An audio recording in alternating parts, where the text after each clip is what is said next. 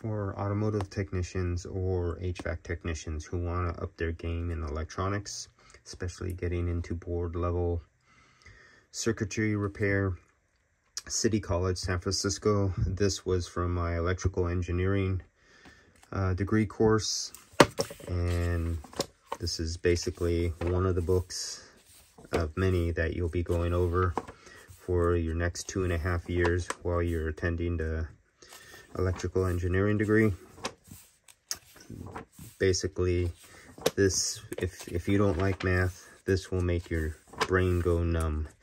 When I uh, transferred out of Laney, taking the Laney College electrical courses, I found that rather easy.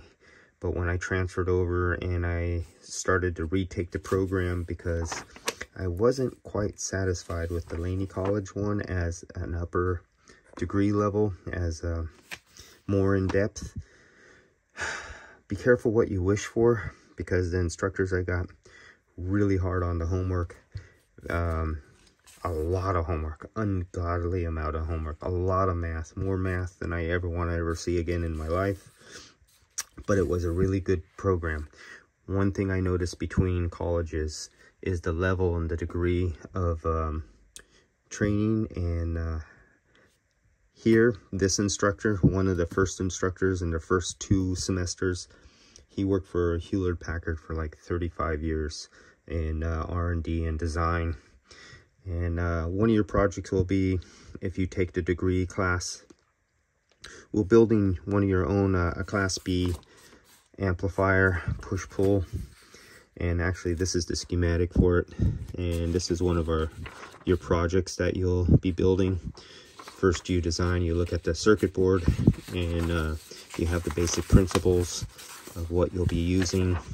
Then you lay it out in uh, a wiring diagram then here's the circuit board design before you uh, ever go, you know, designing everything or having anything made or get a circuit board. Then in class, you'll prototype it, prove that it works. I actually um, scavenged the parts off of here because once I got it working, I switched it over to the circuit board so most everything is missing off of here. This was what I prototyped it on first. And then as you get to your finished product, this is what you do for your finished product. Another item you'll first, on your very first class, you'll build a power supply and the power supply will be for your future preamp and amplifier. And this is your class B amplifier that's described in both in the book and you go over in class. And this will be one of your one of your many class products uh, projects that you'll finish.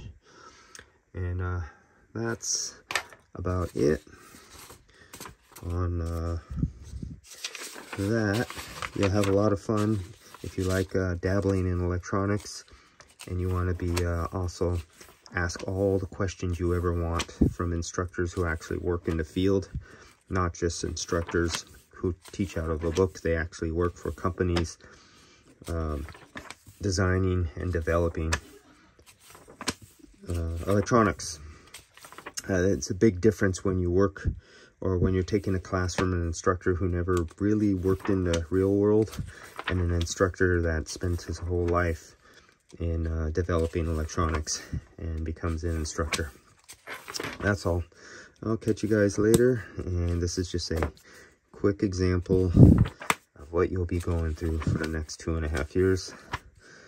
And uh, yeah, I'm not so much in memorizing the math formulas, a little bit beyond me. And that's the ISBN number. Where's the ISBN number? It's not there. Let's see. ISBN number. Hmm. Guess they have it covered up there in the back. Oh, well. But that's the book. All right. See you guys. Oh, and for class, you will have your little box of goodies. When you show up in class, uh, they have you going through that little green book I showed you the other day. Uh, you'll constantly be doing little mini projects that you do really fast every day in class. So you have hands-on, hands-on, hands-on, lots of hands-on building.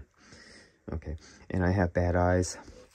I couldn't read resistors, and uh, so I cheated and I'd measure all the resistors because My eyes were bad. And I put big pieces of tape on them and then stuck them in here. So when I had to select them, I didn't have to look at the little lines and colors. Like when you have to see that, those are all different. Every one of those are different and you have to read them. And uh, yeah, I cheat. All right.